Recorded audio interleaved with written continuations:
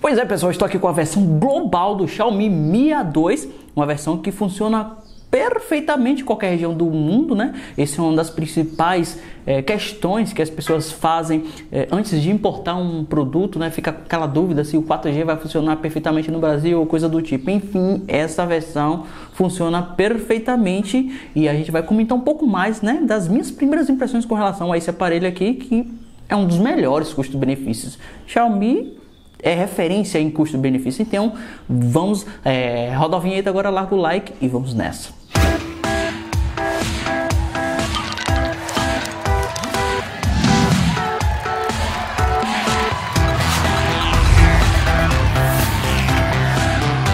E aí galera, tudo beleza? O Anderson Conceição aqui do canal Meu Smartphone. Estou aqui com o Xiaomi Mi A2, como vocês podem ver a versão global com o Android One, Android limpinho, não vem com a MIUI, embora venha com alguns aspectos da MIUI, mas não completamente o sistema, não é modificado.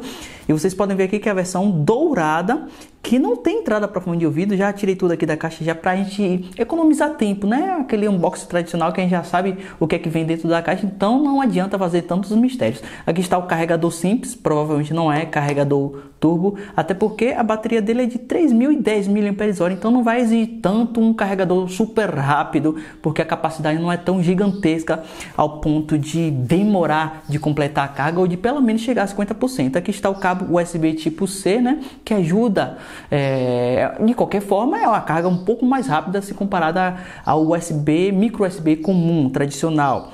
Guia rápido, né, em inglês. Ele vem também aqui com um adaptadorzinho para entrada para fundo de ouvido, porque eu não sei porque a Xiaomi decidiu remover a entrada para fundo de ouvido padrão não colocou nenhuma função especial, né, para ter que remover isso.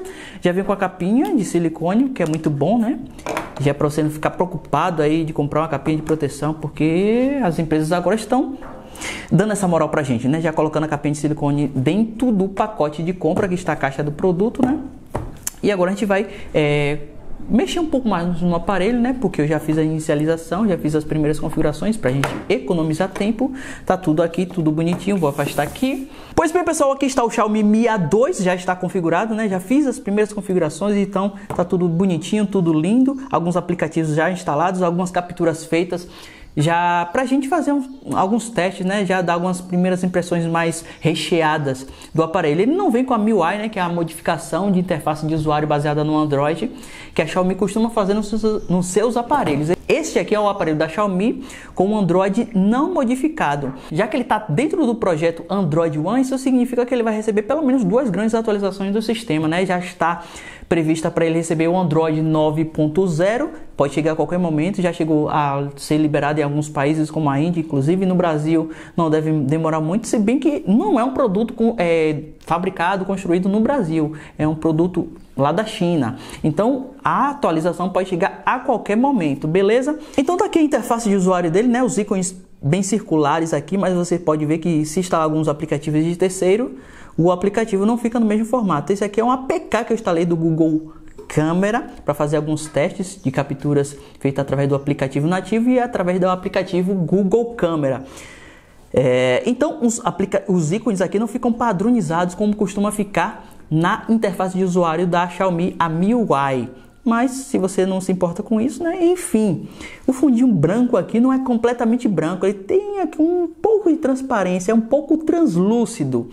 É, tem uma modificação aqui também que você pode fazer que muita gente não conhece. Você faz isso aqui, né, para modificar o fundo, o widgets. Você vai aqui em configuração inicial, ah, mas isso aqui tem que ativar uma outra coisa primeiro para depois aparecer. Você tem que ir lá em configurações, ativar o modo desenvolvedor, né? Configurações sobre o dispositivo, você vai clicar aqui na versão, essa parte aqui, você clica várias vezes para ativar o modo desenvolvedor.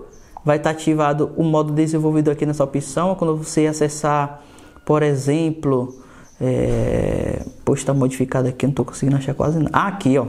Ativado o modo desenvolvedor, você vem aqui na tela inicial, né, para fazer algumas modificações. Vai aparecer uma opção que não aparecia antes, que é essa opção é alterar forma de ícones. Você pode colocar aqui, ó, formato lágrimas, entre outros aqui e vocês podem ver que os ícones dos aplicativos vão ficar um pouco modificados. Uma sugestão aí de funcionalidade caso vocês não conheçam. Então esse é o Xiaomi Mi A2, pessoal. Ele tem uma configuração bem interessante, é um dos melhores custos-benefícios.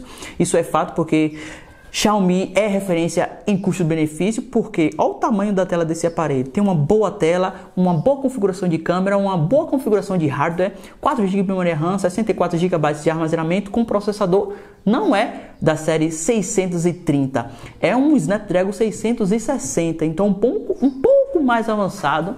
Eu nem sei em que categoria colocar o aparelho, né? Se é intermediário avançado, seja lá o que for, porque se ele tivesse um processador Snapdragon 636, ele também estaria é, na classe dos intermediários avançados.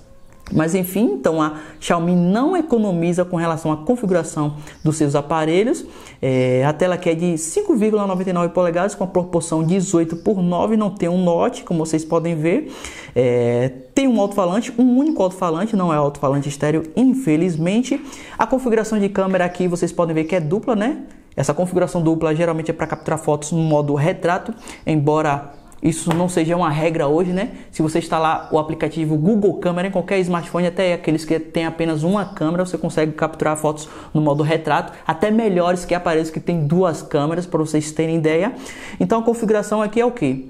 12 megapixels mais 20 megapixels. Na frontal tem uma configuração de 20 megapixels. Não se impressione com quantidade de megapixels. Eu já falei isso aqui várias vezes. Então vou mostrar agora para vocês algumas capturas que eu fiz através dessas câmeras. Vou acessando aqui o Google Fotos e aqui está. Vou passando a imagem no tamanho real aí na tela cheia para vocês darem uma olhada na resolução. Não tem nada de impressionante, né? Tá aí uma captura feita também muito interessante, né? Muito legal.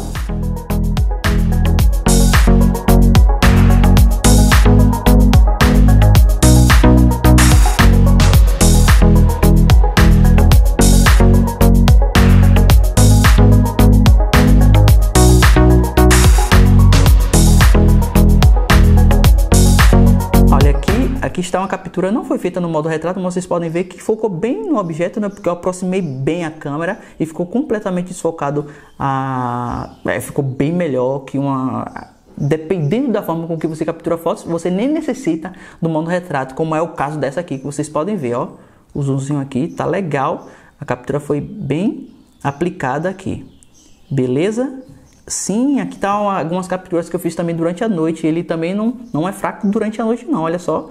Também depende muito do ambiente, né? Depende do tipo de iluminação que tá tendo naquele ambiente.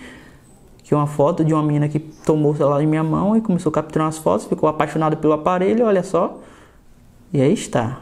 Pois bem, então com relação ao software, né, como já falei para vocês, ele veio com o Android 8.1. A qualquer momento ele já pode receber a atualização do Android 9.0. Assim que receber a atualização, vou fazer um vídeo aqui, um vídeo rápido falando sobre as mudanças que, que ocorreram no aparelho, embora não tenha nada de diferente se comparado a outros aparelhos. O meu Nokia X6 aqui, por exemplo, também já recebi a atualização do Android 9.0, né? Modificações superficiais. O Android já não tem como modificar drasticamente a interface de usuário, porque tudo que a gente precisa já está ali, né?